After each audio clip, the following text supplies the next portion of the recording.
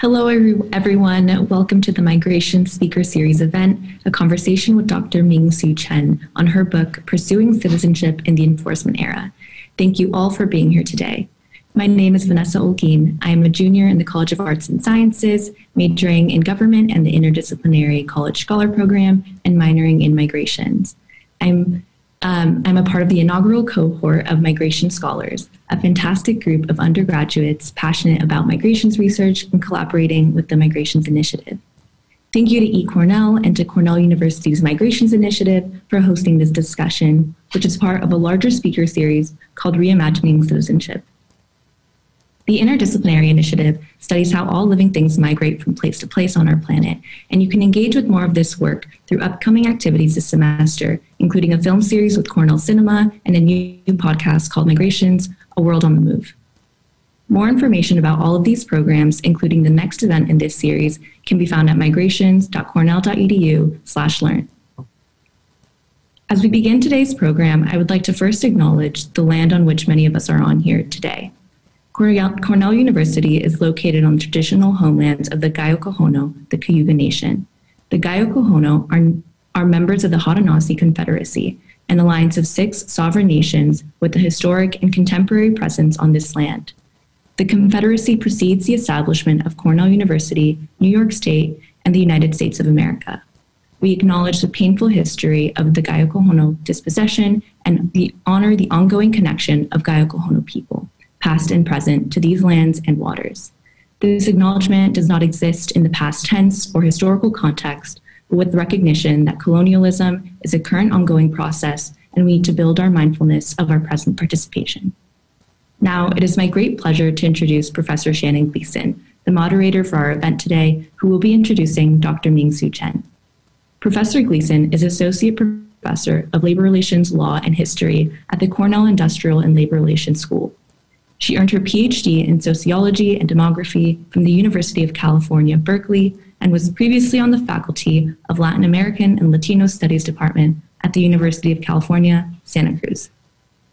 Her recent books include Building Citizenship from Below, Precarity, Migration, and Agency, published by Routledge in 2017, as well as Accountability Across Borders, Migrant Rights in North America, published by University of Texas Press in 2019. Thank you, Vanessa. I really appreciate that very generous introduction. And it is my great pleasure to be here and to be in conversation with my friend and colleague, Dr. Ming Hsu Chen. Um, she is an associate professor at the University of Colorado in Boulder, where she is a faculty member at the law school. And she also is a faculty director of the Immigration and Citizenship Law program with various affiliations on campus. Um, she is a fantastic person to have here today because, like the spirit of our migrations initiative, she brings an interdisciplinary perspective to the study of immigration, civil rights, and the administrative state. And you can find her really rich offering of classes at the CU Law School but she also has research on citizenship that is bridging both the law as well as social science. And she is writing about this in her new book, Pursuing Citizenship in the Enforcement Era, which has been published by Stanford University Press. And I'm really happy to have her here today to talk. So I will turn it over to her to give us um, an overview of the key themes of the book. And then I'm looking forward to being in conversation. Great. Thank you so much, Shannon. And what Shannon didn't mention is indeed friends and colleagues for goodness more than a decade now. So it's it's really a pleasure to be able to come share the book with you, and in particular to be in conversation um, with Professor Gleeson about the book. So the, the book is titled Pursuing Citizenship in the Enforcement Era.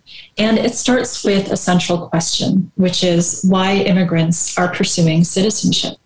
Um, and why specifically now? Um, you see, in an average year, only about half of those who are eligible for citizenship actually apply. But over the last four years, that percentage has risen almost 10%.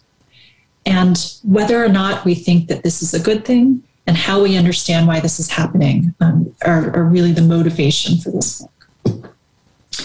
So, to give you an overview of how the book is structured, there are essentially three chunks. Um, the first part of the book describes the situation um, that we're currently in and how it is that the um, binary version of immigration produces the kinds of citizenship inequalities um, that I'll be talking about. Um, the second part of the book is the fun part. Um, those are the stories of immigrants that were gained um, with interviews, um, many in Colorado, but also all over the country in many different legal categories. Um, and then the third piece, which I will touch on in the presentation, but I'm happy to carry into Q and A, um, is about how we move forward, which is, you know, a, was an interest of mine throughout the book, and now that we are in a new presidential administration is something that I imagine um, a lot of people have on their mind. So let me start with the first part of the presentation, um, which is how we got here. So I think many people think about immigration as being a legal binary. Um, and the choices are that you're either a citizen or you're an immigrant, and you're legal or you're illegal. Um, and then that makes you an insider or an outsider. And usually the US Mexico border is considered the dividing line.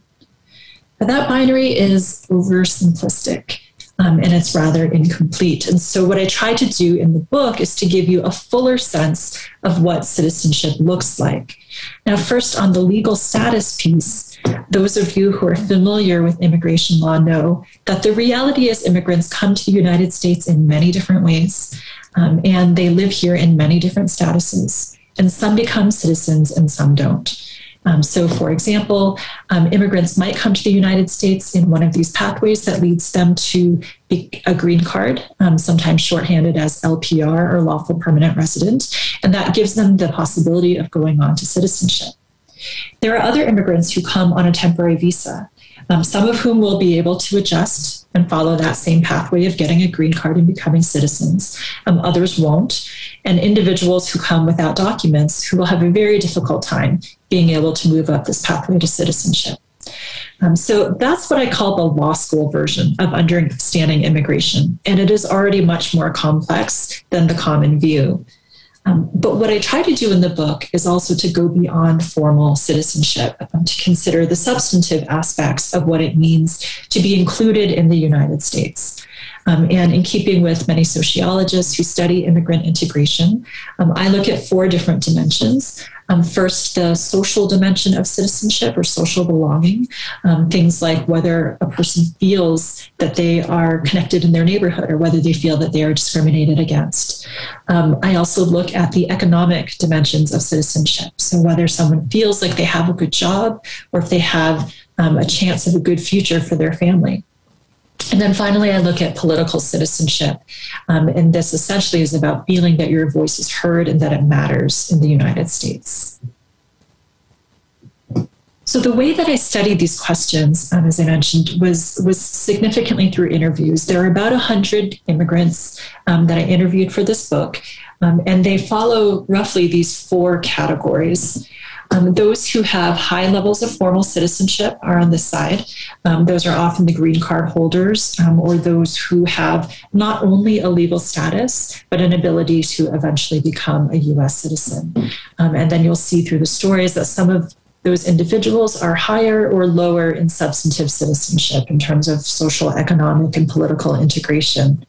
Um, and then on the other side of the chart, we have those who are lower in formal citizenship, and again, with some variation um, in terms of their substantive citizenship.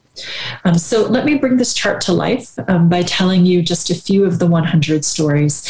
Um, what I'll try to do is to pick one to illustrate each of the four boxes here so that you can get a flavor um, of what the rest of the interviews looked like.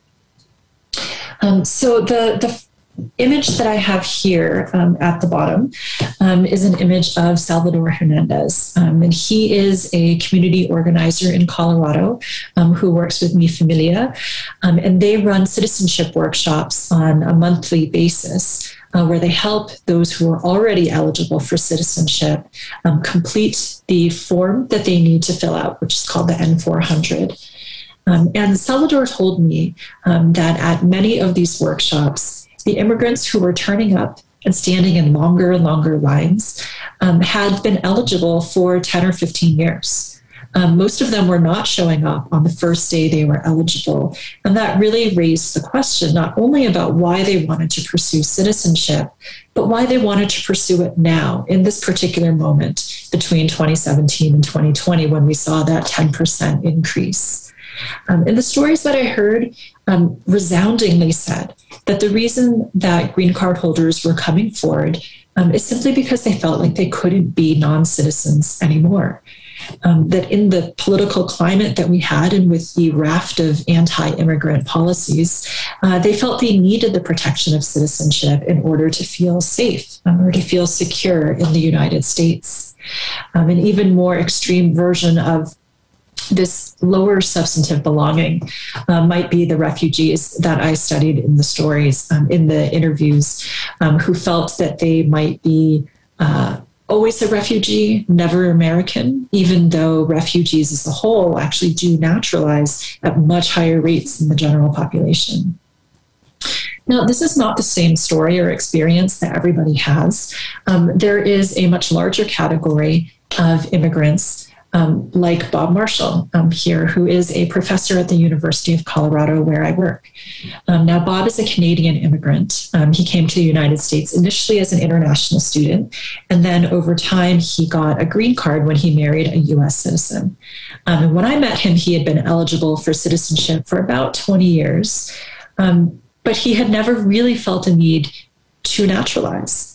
Um, and the reason was, and these are his own words, he said that he felt that he was an invisible immigrant, um, essentially, that people wouldn't have known that he was an immigrant, um, given his skin color, his fluency in English, um, his relatively privileged economic status. Um, but what was interesting is the same day that we were having coffee, Bob told me that after 20 years of eligibility, he had actually filled out a draft of the N400 that form that you need to become a citizen. Um, and he was still deciding whether or not he should turn it in. Um, as it turns out, he he still has not become a citizen. Um, but the reason that he was thinking about it in that moment, um, I think, is very similar to what immigrants like Salvador and those that he was working with were experiencing. Um, and that is to say that when there were policies like the Muslim travel ban that came in 2017, it became a wake up call to all green card holders, to all immigrants, um, even those who were not targets of the Muslim ban. Um, such as those from Canada, like Bob, um, or those from Mexico, like Salvador. Um, they also were not targets for deportation. So, this deportation machine, the heavy enforcement, was not a direct threat to them as green card holders, and yet it still served to make them feel less secure in the United States.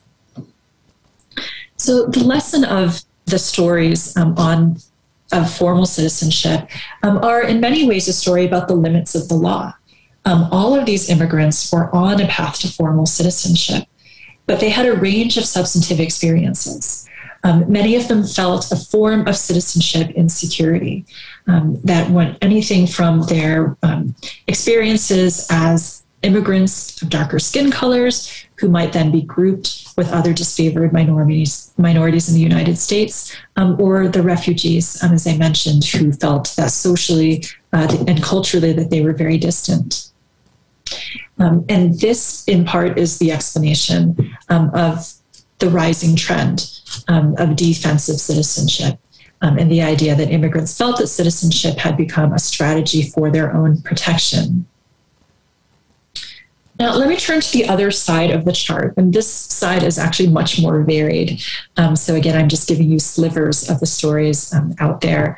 Um, but as I, as I mentioned on the, um, on the lower side of formal citizenship, um, there are those who still experience high levels of substantive belonging, even though they lack legal status.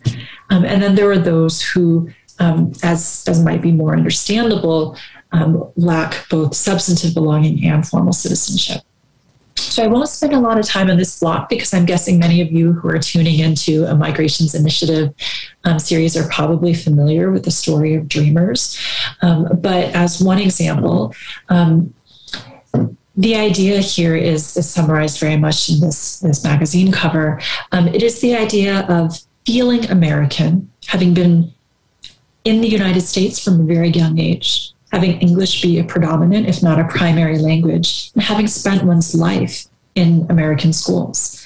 Um, and yet, the asterisk um, is that many of these individuals felt that they were Americans, just not legally. Um, and Gabrielle was one of the students I spoke with who said she originally thought that she could be in DACA or Deferred Action for Childhood Arrival status forever. Um, and that contributed to her sense of belonging. It was just a piece of paper um, and didn't really change anything um, about her lived experience. But after a variety of policy changes, um, including the attempted rescission of DACA in 2017, she felt that she realized that nobody was secure. And she couldn't count on DACA or the promise of a DREAM Act um, to feel secure. And the other stories, this is actually a very varied category, um, but these are individuals who came to the United States on temporary visas. Um, and at the University of Colorado and Cornell and many other universities around the country, um, the largest number of international students um, are from China, and many of them are coming in STEM related disciplines.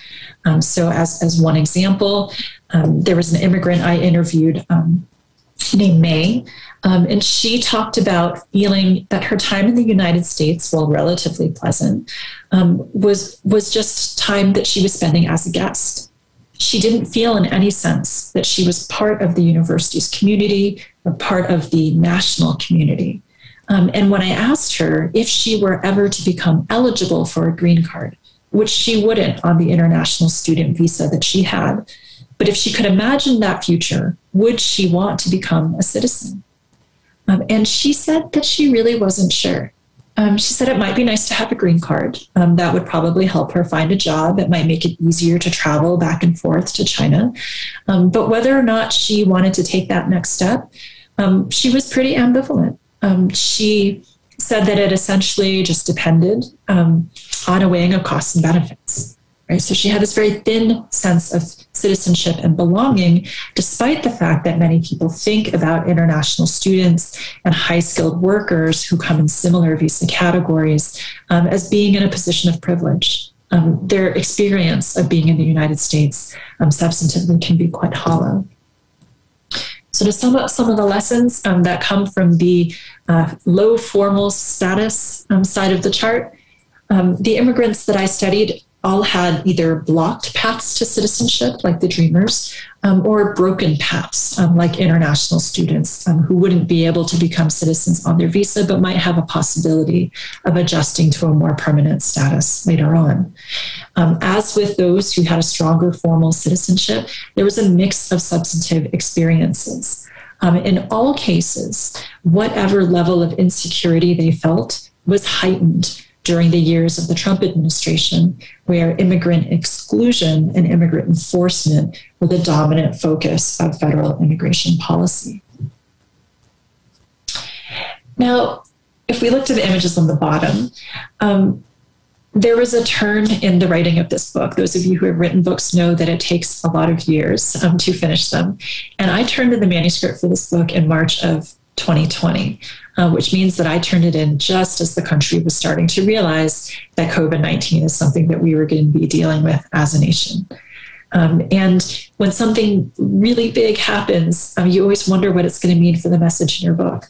Um, and in this case, fortunately for my research, perhaps not fortunately for the immigrants I interviewed, um, I found that the experience of COVID 19 and the perceptions of a disease following immigrants into the United States and all the corresponding travel bans um, only heightened the sense of citizenship insecurity that I had found in, um, in the book during my years of research.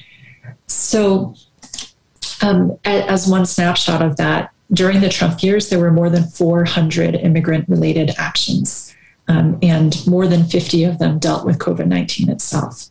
Um, so I think many of the experiences that I report on in the book um, are ones that we continue to contend with now.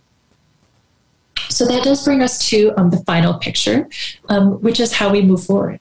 How can we move forward where we are still coping with the COVID 19, um, but we are also presented with some level of promise uh, with a new administration that has proposed legislation like the Citizenship Act of 2021. Um, and I would summarize the suggestions that are in the book um, by pointing to these broad principles. First, of making integration the North Star of our immigration policy. Um, and that would follow all of the dimensions that I tracked. And so, for example, some of these are things that the Biden administration has already done, um, such as thinking um, socially about the meaning of being a immigrant um, as being a future citizen um, or a future American, um, with the shift in language from the um, the government referring to non-citizens as aliens, um, instead using the word non-citizen. And so, as one advocacy group that that I've participated in has said, the shift would be from alien to non-citizen to citizen, um, and that change in language, I think, signals a change in social belonging. Um, in addition, there are many dimensions of economic um, inclusion um, that would go along with this idea of integration. One of them would be um, a revisit of the public charge rule, um, one that many have thought of as a wealth test for immigrants um, who rely on public benefits that they are legally eligible for, um, but worry about the possibility that will count against them later on when they try to become citizens. Um, and finally, the battles over the inclusion of immigrants in the census um, and whether they ought to instead be excluded. Um, as formal non citizens. Um, and, and that is a policy that has already been changed in the Biden administration, but that would be an example of political exclusion. Finally, um, there are a number of ways that we need to uh, move on the formal side of citizenship. Um, and these are more direct policy suggestions to change the paths available. Um, my contention is that they would need to be tailored um, to each of the types of immigrant experiences I talked about. Um, for the green card holders, it would mean having a smoother path to citizenship. I'm thinking about things like the citizenship test, the cost of the citizenship application, um, difficulties with language and translation, um, significant backlogs in the US citizenship and immigration services. So, smoothing that path would be one way to build um, stronger paths for green card holders, and some of those are addressed in the Citizenship Act of 2021. Um, secondly, secondly, for temporary visitors, we need to think about on ramps, and those could include immigrants such as the ones that I spoke of, spoke with, um, mostly high skilled immigrants and international students, um, or it could include many of the essential workers who have shown their significance in the um, during the period of COVID 19 as healthcare workers, um, as restaurant workers, as grocery store workers, um, and as agricultural workers. Um, and so, another piece of the Citizenship Act of 2021 um, talks about at least giving them what they call blue cards in order to stabilize their status, and then the greater possibility of being able to adjust to a green card status in recognition of the service that they'd given to the United States. And finally, for undocumented immigrants um, to think about a way to create a path to citizenship um, that doesn't exist. And that has probably been one of the headlines of the proposed legislation. So I'll pause there, um, and I'm happy to continue the conversation first with Professor Gleeson and then with the rest of you who are out there. Thank you, Ming. This is a really fantastic overview of a book. I really commend it to everyone. Um, and I just want to remind the group that if you want to ask a question, which we'll be incorporating in a bit, you can click on the chat icon um, on the Zoom portal. So please do weigh in with whatever questions you may have. We have a lot of ground to cover. And I wanted to start us with um, just revisiting one of the key themes in your book, which is again moving beyond these binaries. So much of the policy debate in this country has been at that intersection of undocumented and documented. Um, we know that, for example, 5% of the civilian workforce is undocumented. Um, but I would say most of the debates and most of the political discussions are about those 11 to 12 million individuals but what is missed is what you refer to as the spectrum of citizenship. And so I wanted you to, to talk about that spectrum and how that becomes important, especially in light of the current what's being referred to as the Biden bill that's being presented before Congress.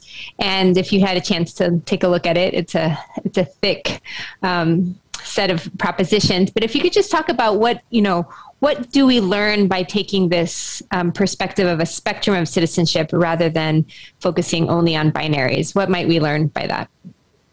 Sure. Um, and yes, it is thick. It's about 350 pages um, in both the House and the Senate versions of the bill. Um, Well, I mean, as you said, the headline has been the 11 million undocumented immigrants, but that really just scratches the surface of, I think, what makes this um, proposed leg- legislation pretty bold and pretty ambitious.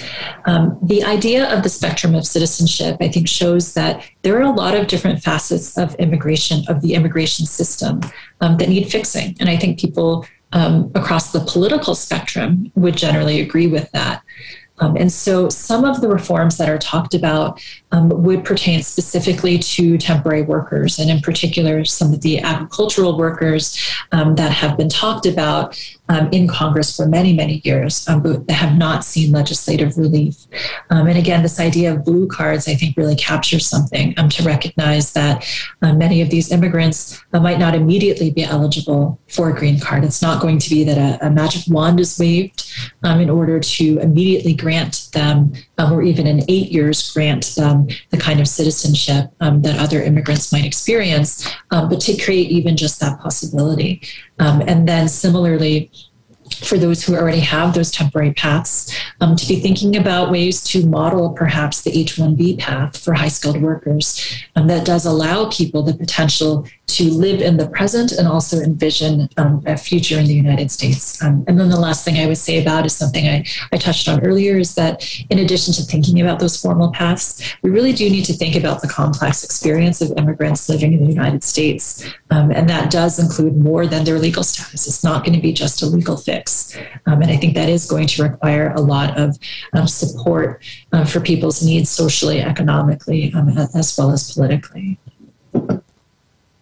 Um, I wanted to incorporate a couple of the questions that we have rolling in. I think so much of the focus right now has been on the current propositions under the, the new administration, but one of our um, audience members asks if you had any thoughts going back to even the Clinton administration and the Jordan Commission. I know this is reaching a ways back, but I what I remember of that Jordan Commission, which is a bipartisan committee that was um, chaired by um, uh, Texan Barbara Jordan was uh, that it had a more restrictionist approach, and it certainly had a big focus on. I think what was tag the tagline there was protecting um, not only diversity but also the local economy. And I think that some of the vestiges of that.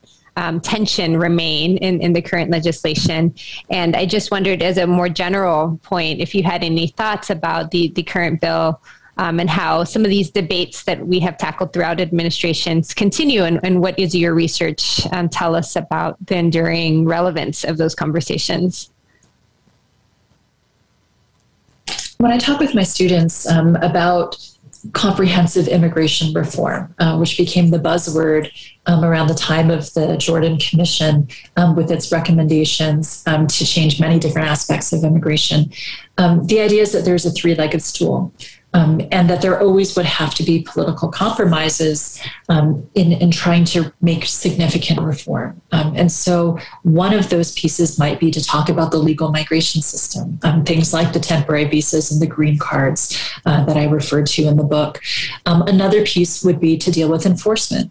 Um, and a lot of that dealt with enforcement at the border. Um, some of that also addressed the um, economic issues um, that you refer to, um, most notably the 1986 Immigration Reform and Control Act um, that created a lot of disincentives for immigrants to accept work if they didn't have the documents to support it. Um, and then the last piece would be to think about undocumented immigrants who are already in the country. So it had become conventional wisdom that you would need to have all three pieces being worked on. Um, and I think that one of the distinctive features um, of this particular proposal is that it is much more heavy on the integration and legal immigration side. Um, it, it, would include the pathway for undocumented immigrants, but again, it's really pushing hard on that. On the enforcement side, I think it's a bit more subtle. I won't say it's absent. I think it is subtle um, by talking more about um, things like um, having some equity and humanity um, in the enforcement regime that we have, um, or even the idea of pursuing um, economic development in um, areas of Central America that have become a significant source of migration to the United States um, as almost a preventative measure for undocumented immigration that comes across the US Mexico border. Uh, but the emphasis assuredly is, is more on integration, um, and I think that's notable. And while I'm not um, in Congress. I'm not in DC. Um, my sense is that the reason it's set up that way is because people are envisioning um, a piecemeal strategy to legislative reform, where they want to be able to break off these pieces um, rather than have some internal compromises um, where integration almost always falls off the table. Right. And I, my read of the bill, too, is that the more incorporative pieces of it um, do detract from the pieces of the immigration enforcement virus that you talk about that will maybe not be hardened, but not necessarily be softened. And we know this also going back into the Clinton era with some of the um, criminalizing provisions that were put in place. And so I think that will be something that advocates will continue to, to fight on, probably also in a very piecemeal fashion.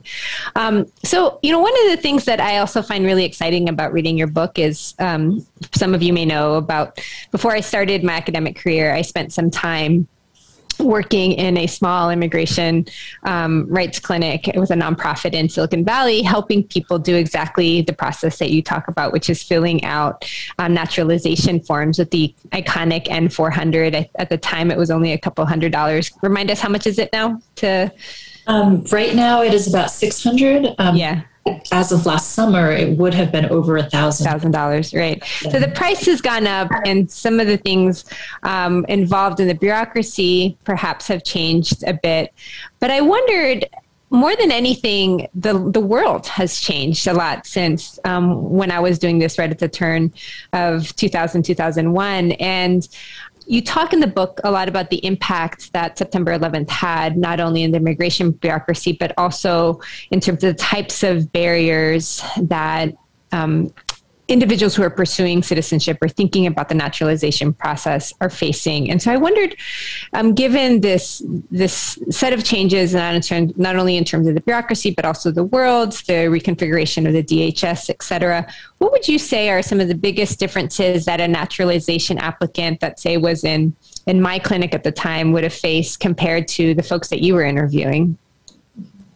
Um, first, let me just say that I really appreciate that you pin the turning point um, to a pre-Trump era. Um, I think that's important because a lot of people think that when I talk about enforcement, I'm only talking about Trump.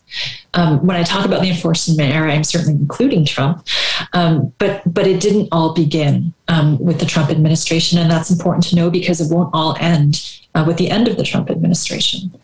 Um, so, you know, what I would say is that um, the challenges of integration um, at the federal level have indeed always been there. Um, but I think they've been heightened, they've been exacerbated um, by a lot of the um, more exclusionary policies. Um, and so, if I can get into a little bit of the granular detail, um, one thing that the former INS Commissioner Doris Meissner has said um, is that we need to put the S back in, at that point, the service mission back in the Immigration and Naturalization Service. Or in this moment, you might say, post 9 11, we need to put the S back in the U.S. Citizenship and Immigration Services to recognize um, that there is a branch of the federal government um, that is meant to uh, see itself as providing a service, um, dispensing immigrant benefits um, like green cards that might allow someone to get to citizenship.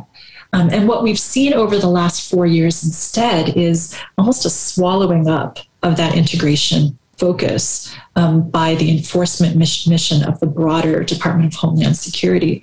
Um, and so, you know, one really significant um, example is that outside this book, I worked on a government report um, for the U.S. Commission on Civil Rights about the backlogs in citizenship, um, which have in some cases reached, you know, more than two or three years um, once someone is already eligible to become a citizen. Um, and one of the reasons that that backlog has developed is that the funding for the USCIS has largely been directed to a fraud and detection unit within the USCIS right? And so it wasn't that fraud detection didn't exist before, but that's an enforcement mission that's been embedded inside um, the service agency.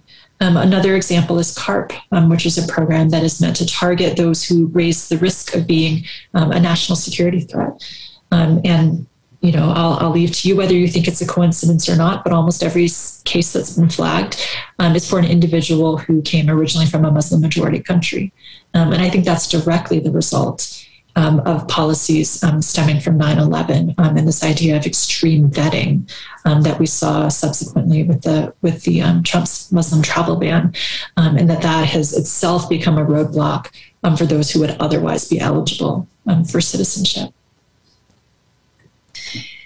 Yeah, and I think that it's it's really important for us to be engaging in this distinction between what you say is this formal and substantive citizenship. And so much of the work that I, including, do focuses on this changing of the bureaucracy, the actual ability for people to adjust their status, be it into LPR status or in, into citizenship. And a lot of what you're highlighting is what are the racial hierarchies, what are the forms of ethno religious discrimination into which um, immigrants are incorporating, and what does that mean about their ability to continue to not only pursue well being, but also some of the other political and civic.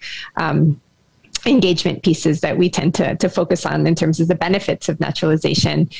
But I wanted to bring this back to some of the conversations we're having, not only in the in the realm of immigration, but also in the broader racial justice movement, which is this again this distinction between formal and substantive citizenship. Any anyone who has studied T.H. Marshall knows that the conversations around citizenship actually began with how we understand, for example, the disenfranchisement of former slaves, Native Americans, and much of the kind of fundamental writing on immigration stems from what do we know about the development of citizenship with these other um, marginalized communities. And so I wondered in the current moment in which we find ourselves and have found ourselves for a long time, um, what opportunities do you see for peeling back? Um, this this focus, almost hyper focus on on formal citizenship, either in terms of legalizing or documenting the undocumented, or get out the vote and kind of encouraging people to to become citizens through that process.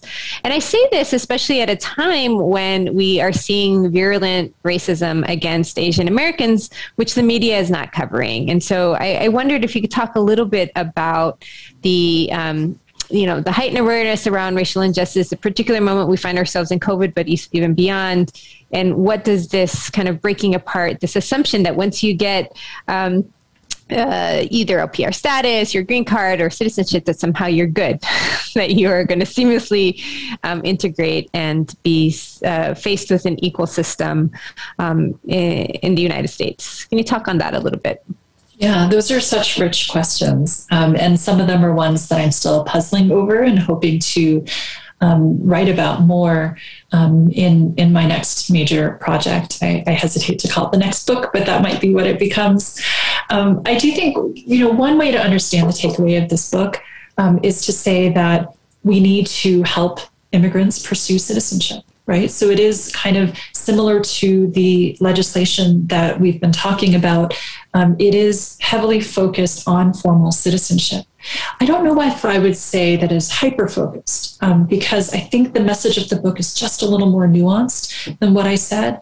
Um, I think it's to say that it is necessary to have formal citizenship, um, but that it is not sufficient right? And so it is a foundation that I think we need to build on. And if we look at the broader context of citizenship um, for African Americans, for women, um, for birthright citizens who came from Asia, um, you know, over the arc of the you know Civil War reconstruction in the late 1800s, um, I think you see a similar trajectory. Right? You have the 13th Amendment and the 14th Amendment um, abolishing slavery, and then subsequently you deal with um, political incorporation in the 15th Amendment, for women in the 19th Amendment. Um, and then many of those battles about economic belonging are still uh, very much um, being worked on, right? Because we still know that we have economic um, disparities that have only been intensified during COVID 19. Um, so that trajectory, I think, in some ways has parallels with what I'm arguing for in the book. Um, I don't think anyone would want to reject formal citizenship if it was available to them. Um, there's a lot of research that shows that there is a citizenship premium um, that shows itself in wage increases um, and certainly psychologically um, in terms of the security people feel as opposed to the precarity that I know you yourself have written about. Um, and I think that is something that is um, true it is almost endemic to the condition of being a non-citizen, especially when enforcement is strong. Um, your question about Asian Americans, I think, is one that you know is, is very close to my heart, um, and I think also a really important one because I do think that sometimes there is a tendency in America um, to think about um, to think about disadvantage as being focused solely on those who um, have the many different interconnected experiences of being of darker skin color um, and of having um, negative experiences with law enforcement um, and taking nothing away from that. I did think it was very interesting to interview immigrants who many would perceive as, as quite privileged. Um, many international students um, wouldn't be able to afford coming to the United States were it not that their family had a, a fair amount of economic stability. Um, you know, if we move out of the Asian experience, people like Bob Marshall who are coming from Canada, right? All of these individuals also talked about a sense of insecurity. Um, and so I found that to be really fascinating. Um, and, it, and, it, did really point out the need to disaggregate those threads of what we think about as disadvantage and what we think about um, as um, as privilege. Yeah. I mean, I think that these multiple interlocking layers of disadvantage operate both simultaneously but also intersect, right? So, xenophobia and the othering that happens through the immigration experience is also very much intersecting with different kinds of experience of racism, right? And so the anti-blackness that is pervasive in this country um, has a, a generalizing effect but it's also a very particular experience and that there are other forms of exclusion that we want to, to understand in that broader context that is the United States, but certainly um, economic mobility in and of itself does not free individuals from those experiences. And the othering that happens with this kind of perpetual foreigner um, connotation that many folks um, that you talk to um, feel um, I think is, is important for us as both race scholars and immigration scholars. I wanted to pull together uh, kind of a set of questions that are coming in from our colleagues in the chat.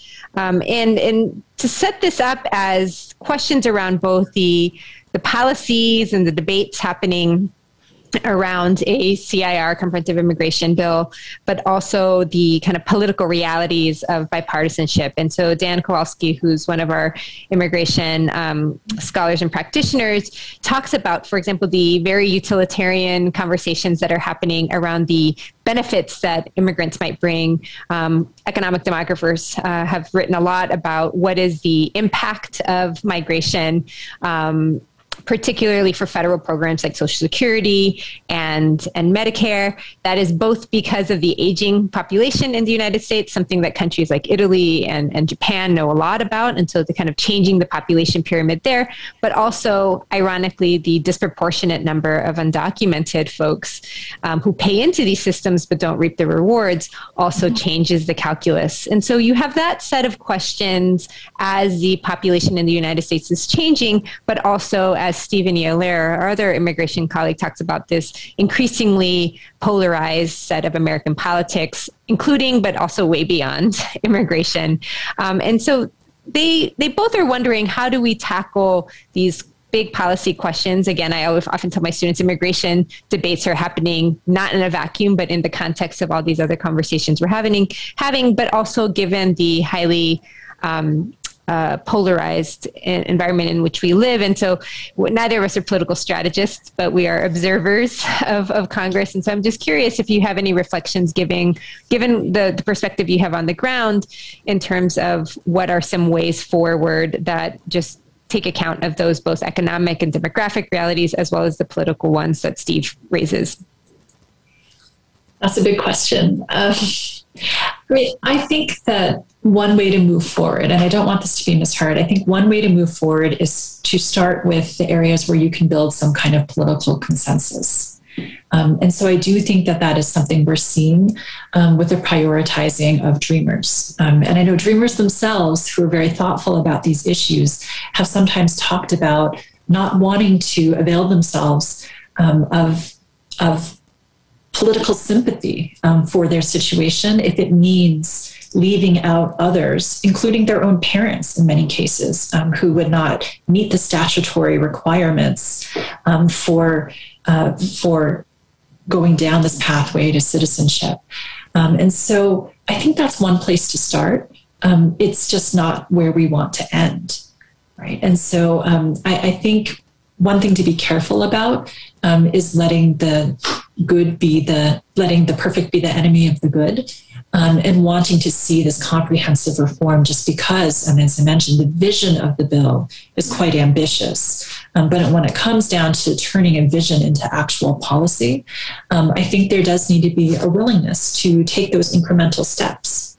You know, um, you know, the reason we had a Civil Rights Act of 1964 is because Brown versus Board of Education didn't take care of everything in 1954, right? So you're not always going to see all of the progress um, in a single step.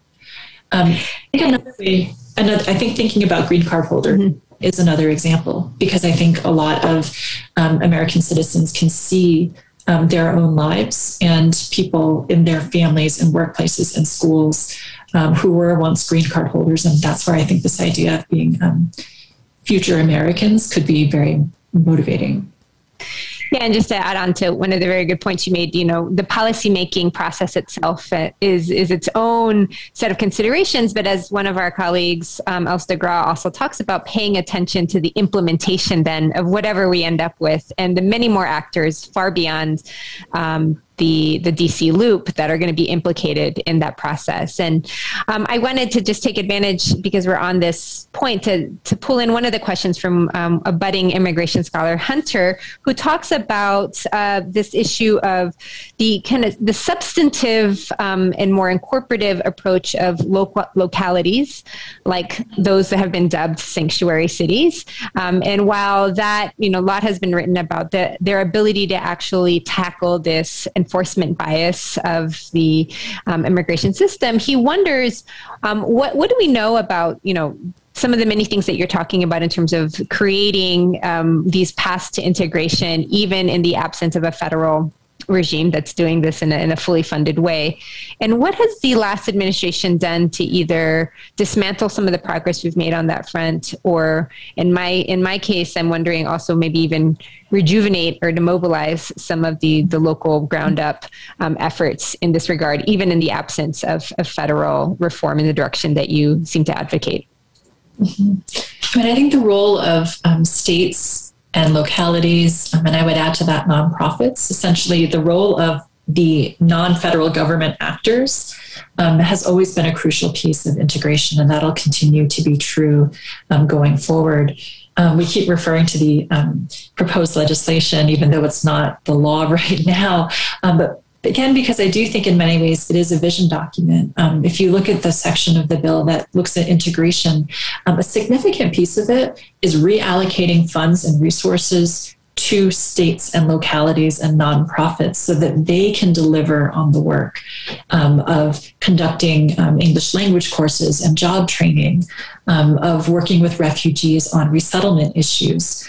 Um, and so it definitely needs to be a partnership um, between the federal government um, and and other entities that are closer to the ground and closer to the daily experiences um, of, of immigrants. Um, I don't. I, I, like the idea of a partnership or even like a hub and spokes kind of image. I think more than seeing this as an either or. Um, again, because I think the federal government and local government have different roles to play in the multidimensional project of integration. Um, and so, you know, as you mentioned, I think a lot of the state and local um, movement has emerged in the gaps where federal immigration policy um, didn't take care of the problem. Um, but I think you would need it anyway. Right? Because if you had a path to citizenship for everybody, which is the kind of thing that the federal legislation would usually try to focus on, um, you would still need to think about economic integration um, and social integration and things that are very hard to do from the top down. Um, and so, um, in that sense, I, I, think there are some ways that the challenges that we're dealing with now are enduring challenges. I mean, we had them before, and we're going to continue to have to work on them. Right. And I think this focus on what localities and both the civic sphere are doing, be it formal nonprofits and philanthropic groups, as um, Els and I have written about, or grassroots organizers and social movements, that has to be part of the conversation. And it strikes me that those groups, in some cases, are doing the work solely focused on immigrant rights, but more often than not, are doing that work in coalition with other forms of advocacy, be it around worker justice or economic precarity Um, you talked a lot about, for example, the public charge rule, which would um, really devastate some of the even thin social safety net opportunities available to even those migrants who have legal status. Um, some of them but they're also doing this work in the arena to go back to one of our earlier themes of, of racial injustice and you know which is one of many forms of social integration and so you know with that in mind i, I wondered you know you and i are both um, writing also in the in the field in the arena of scholars who do this work on critical race theory. And I, I wondered i mean what do you think that the current immigration debates tend to miss or maybe even sometimes willfully ignore about the role not only of economic precarity, but also race and, and, and racisms. Um, things that just legalizing an entire population or naturalizing an entire population don't necessarily get at. And so I wondered if you could talk a little bit about how you'd like to see those conversations be um, more in concert with each other. Sure. And, and this is a place where I think I would um, you know say that this blind spot that exists in, in separating the experiences of immigrants from separating um, experiences of racial exclusion. I think that extends beyond policymakers to, um, you know, frankly, I think we're guilty of it. I think a lot of um, academics do the same thing, and particularly where I'm situated, um, primarily in a law school, I think immigration lawyers and race um, and, and um, race scholars are, are particularly I don't know, particularly guilty of this. And so, you know, as one example, um, one thing I admire about the social scientists is that many of the people who study immigrants also study Latinos and Asian Americans. Um, and that might seem like an obvious move, um, given that Latinos are the largest foreign born population in the United States and that Asian Americans are the fastest growing foreign born population in the United States. Um, but I will say in law schools and in legal scholarship, um, you know, the equality laws that grew out of the Civil Rights Act are a separate set of statutes than the I, INA, the immigration statute. And so they're usually taught in different courses. Um, and so I do think that there is often this, this division and this pulling apart um, of issues that are both intertwined conceptually, um, but are literally in, intertwined um, in the life of the many immigrants who are simultaneously non citizens and member of racialized groups. Um, and so that's actually um, where I want to go in my next project. I have a tentative title. I just need to write the rest of the book that goes with the title. Um, but this idea of um, colorblind nationalism, um, you know, to understand that um, there is a, a, way of blinding ourselves to the racial dimension um, of immigration policy. Um, when we talk about the border being something that's neutral, right? That the country obviously needs to correct, um, protect its borders. Otherwise, there wouldn't be a nation unto itself.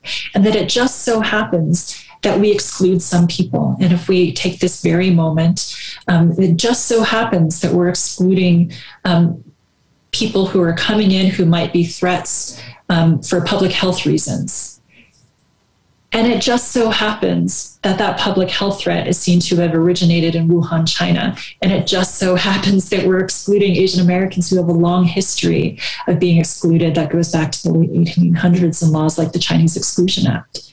Right, so I think in reality, um, it's not possible to talk about fixing immigration without also talking about racial equality. Um, but I do think sometimes those become separate conversations.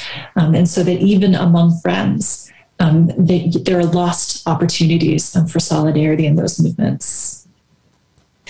Yeah, and I think the the the things that you raise here, I think I, for me, situate the academic sphere in which we are all operating as an important part of the visionary conversation, um, not only in terms of future orientation, but also looking backwards to understand where we ended up, the, the process of really denaturalizing these, and, and not the naturalization that we're talking about here, but denaturalizing the assumptions we make about how we ended up where we are, and questioning and revisiting the assumptions about how nation states came to be, how borders came to be constructed, how the categories of subject and other emerged.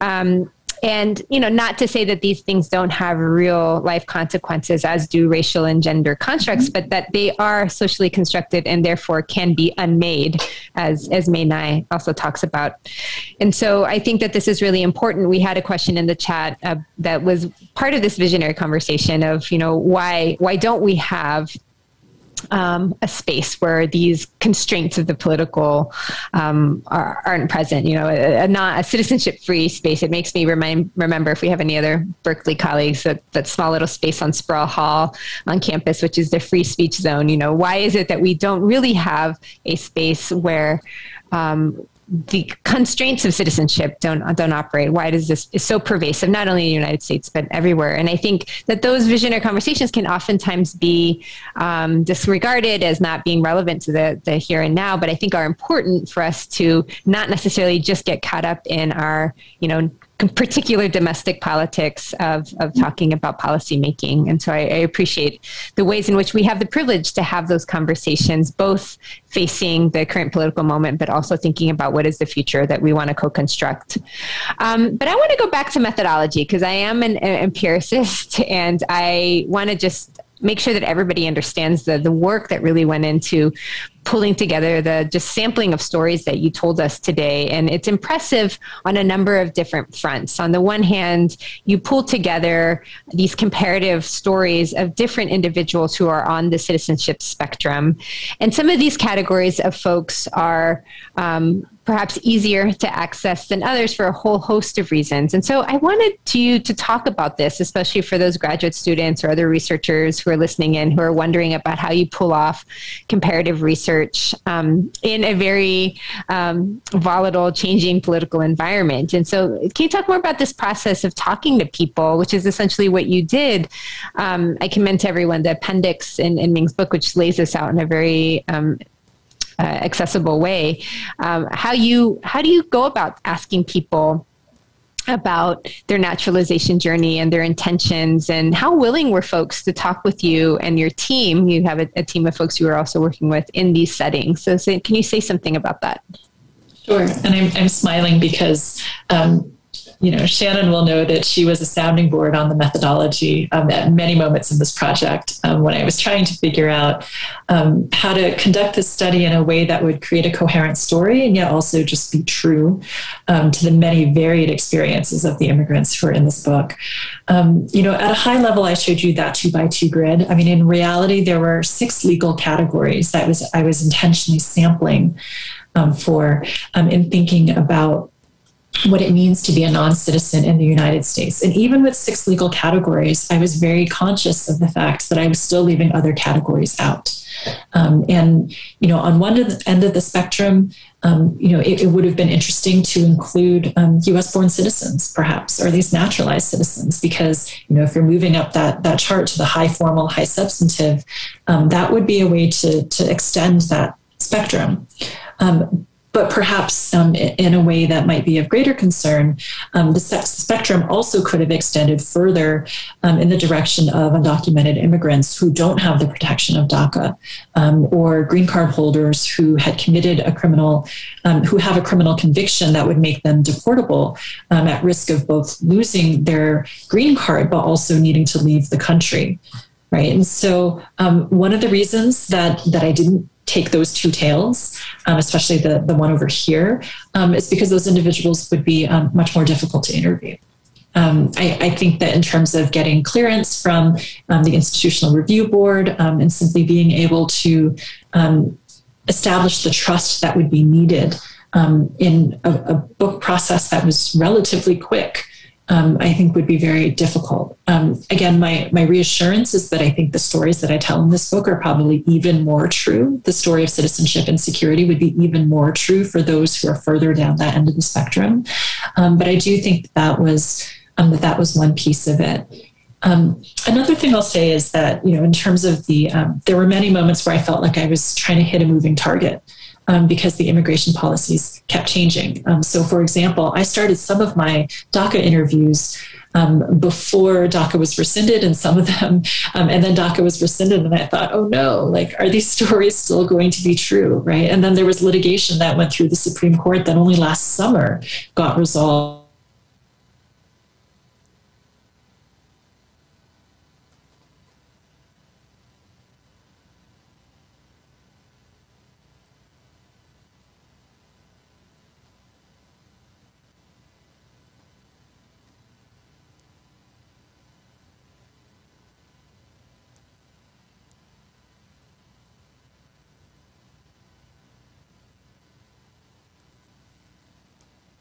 go back. Um, and so I, um, to the extent that I was able, I went back to individuals that I had interviewed with shorter surveys, um, to take their temperature and to see if there had been significant developments. Um, and, and similarly, um, with the refugees, I have to say that one was really, really challenging. Um, the refugees we interviewed were much more willing to talk to us at the beginning of this process.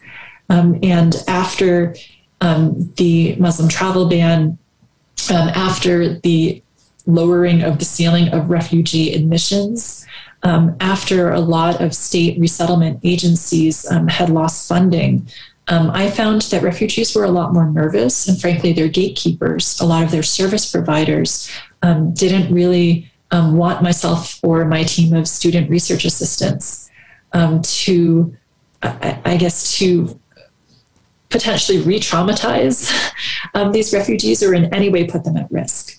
Um, and again, I'm still talking about the more secure strata of refugees, right? These are the individuals who are already inside the country, not the asylum seekers um, who are trying to receive um, a, a, legal status.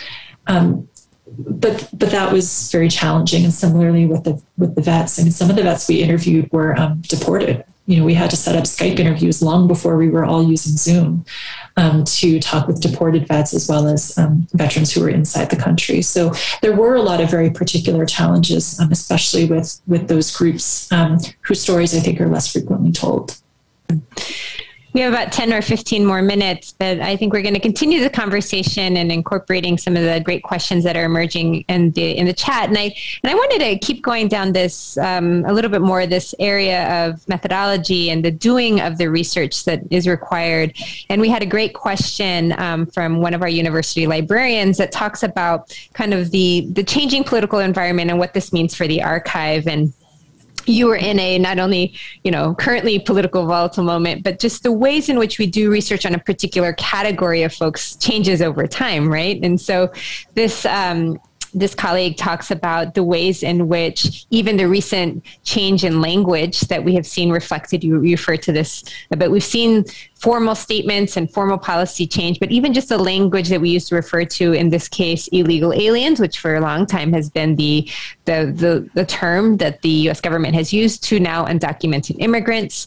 And I'm wondering, as these changes occur, how does this impact the way we construct an archive or construct categories of migrants over time, but also the kind of research that you're doing as a legal scholar and as a social scientist? And I think um, uh, Gerald Beasley is asking, you know, how would your research be affected by la- libraries and the Library of Commerce, Congress kind of keeping up with the times and changing things like subject headings to um, keep up with this. And this is perhaps an esoteric question, but it's one that I speaks I think speaks to this broader issue of of historical work and also trying to situate our own for those you and I who are doing more presentist work, situate our work in the in the um, in the long lineage of immigration policy making, immigration policy um, research that's happening. Do you have any thoughts on that in terms of how the the archive kind of persists or, or becomes more challenging to trace over time?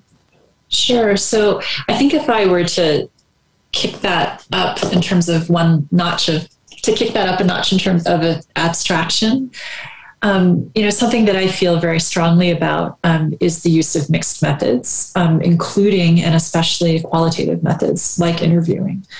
Um, and I think that does help to get around some of the problems that would arise if I was solely focusing on government data um, or on quantitative data keeping. So, like for example, when I um, talked about the rising naturalization trend that kind of defies the longer trajectory of history, if I was just looking at the data points, I would know very little about what was happening to create that change.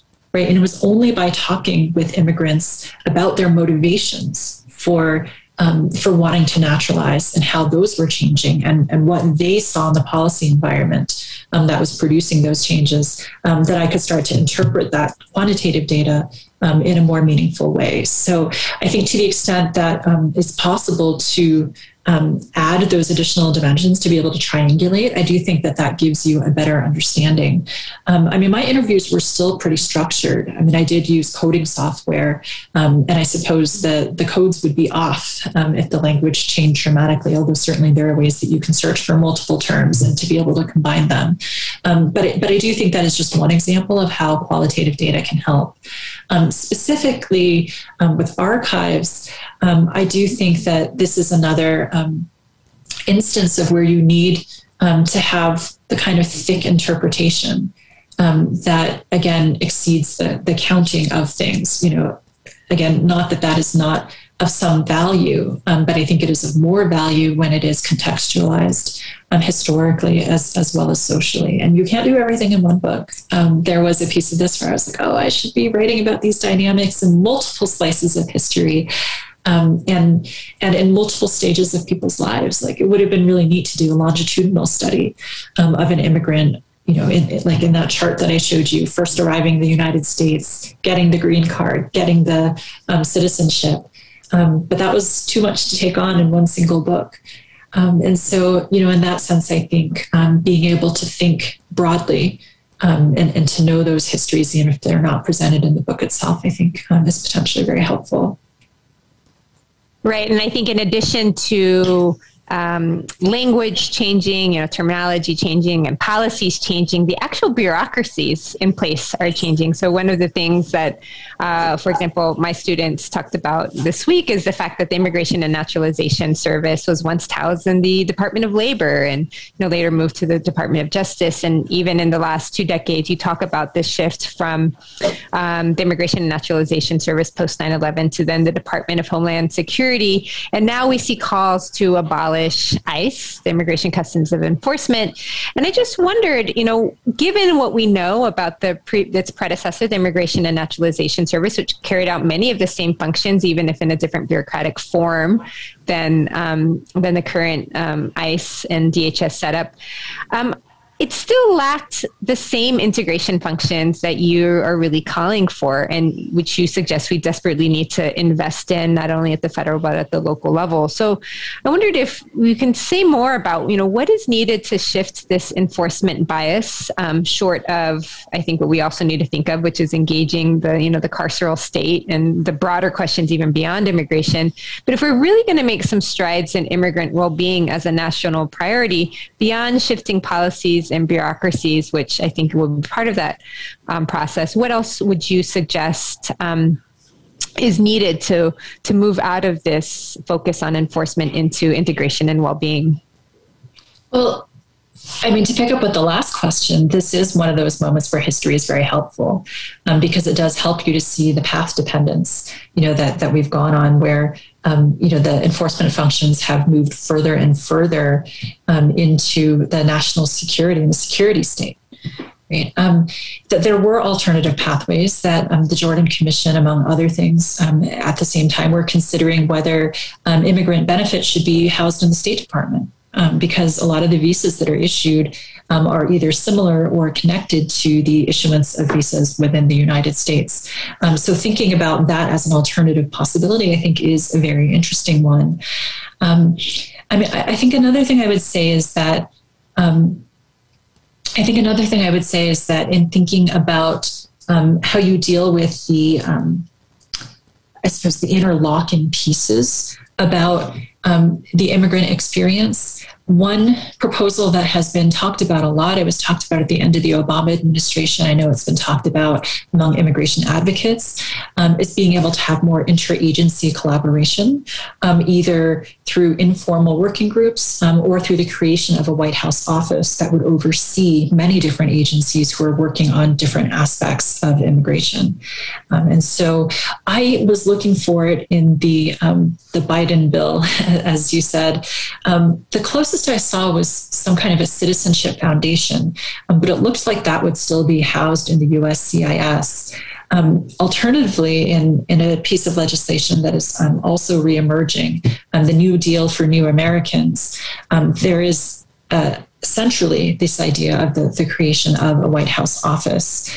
Um, and I think there's some promise there. I mean, again, there's going to have to be a partnership um, in order to see this vision um, implemented within agencies. Um, but I think having that verse, that dexterity um, to be able to um, have somebody who is seeing the whole picture um, and then able to coordinate the economic activities and the public health activities um, and the national security um, and, and other dimensions, um, the discrimination um, components of being an immigrant, um, I, I, think that would be of value um, so that things are not slipping in the through the cracks and that one side is not swallowing up another. Right. A lot of the work that I do on labor standards enforcement talks about this need to do more interagency collaboration, even in one particular arena of, you know, low wage workers. But then a lot of the other work I do also um, and which you do also, is is skeptical about what that interagency um, collaboration looks like if there are anti-immigrant actors at play. And so the MOUs, the memorandum of understanding between the Department of Labor and the Department of Homeland Security, are meant as a way to try to shield um, the the impact of immigration enforcement on other rights arenas. We also know that um, DACA and TPS recipients have been nervous about you know what will be done with their data, and we know that the IRS and the Social Security Administration shares data all the time, which feed into the enforcement arena. And so I think this is a really important point that we have to be able to cooperate not only within the federal government, but also up and down the line with states and localities. But then we have all these other examples of interagency collaboration, 287G, et cetera. The, the list goes on that um, can make us nervous about this. But um, I think it'll be really interesting to see how do we re-envision the possibilities for those collaborations and the distribution of funds in a way that is um, you know not not so focused on enforcement and how do we continue to protect uh, this ethos even as the political winds change. Yeah. And so I, I look forward to that conversation. Um, I want to end. We have about uh, you know three to five minutes left with looking to the next election. I know we've all kind of settled in uh, to our what almost two months of of, of breathing, um, but as we settle into the current administration, we know that parties and candidates are already gearing up for the next round. And what will likely follow, especially as we've seen in, in your work in Colorado and in other places, are these typical um, pushes towards naturalization drives and get out the vote campaigns. And I just wondered for those listening in with an eye towards the political sphere, what insights you might offer um, if we want to have lasting impacts for immigrant communities rather than simply just instrumental focus on a particular election or a particular campaign. The labor movement also is, is guilty of some of this kind of narrow um, focus. And so, what, what can we learn about the ways in which we can get um, make use of these energizing moments, but at the same time think long term for the um, dynamics that you're talking about in your book. Mm-hmm. Um, I think that um, you know, there's a lot that happened in the last election um, that makes you feel like our, our system fell apart. But there were some stories, um, some success stories within them. Um, and I think one of them is that the turnout of a lot of the foreign born communities, um, Asian Americans, Latinos, um, was at historic high. Um, and we saw that that made a difference you know, um, in, in places like Georgia, you know, which of course was very closely watched to the very, very end, um, the mobilization of Latino voters um, and Asian Americans um, mattered greatly. And then within the Asian American population, the movement of Vietnamese and Hmong groups um, to, closer to the Democratic side also um, made a difference in terms of the eventual electoral outcome. So I do think one of the big success stories is a mobilization story.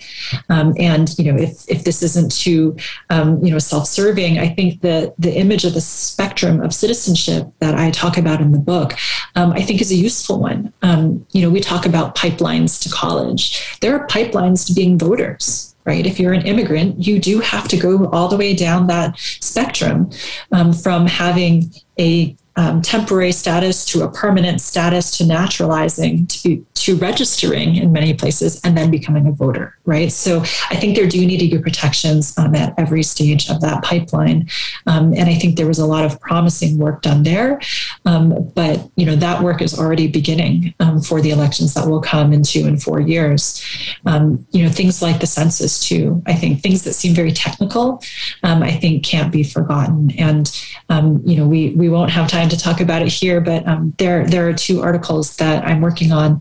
Um, there are two halves of um, a project called The Political Misrepresentation of Immigrants. Um, a piece of it will come out with the NYU Law Review, the other one will come out with the Colorado Law Review. Um, one deals with voting and one deals with the census. Um, and in some ways, it feels far removed to talk about voting and immigrants in the same sentence. Um, but again, I think they're connected along that, that pipeline. Well, thank you so much, Ming. Um, this has been an incredible conversation, and I hope just the start for um, folks who are interested in finding out more about your work. There's a lot more to, to read and to hear. Also commend to you a, a recent TEDx talk that Ming did um, with the um, the the group out in Denver a very accessible and really timely conversation around some of these themes. And so, I welcome everyone to continue the conversation in whatever circle you're in, and to attend our next um, migration speaker series, which you can find information on our website. Thank you. Thank you so much. And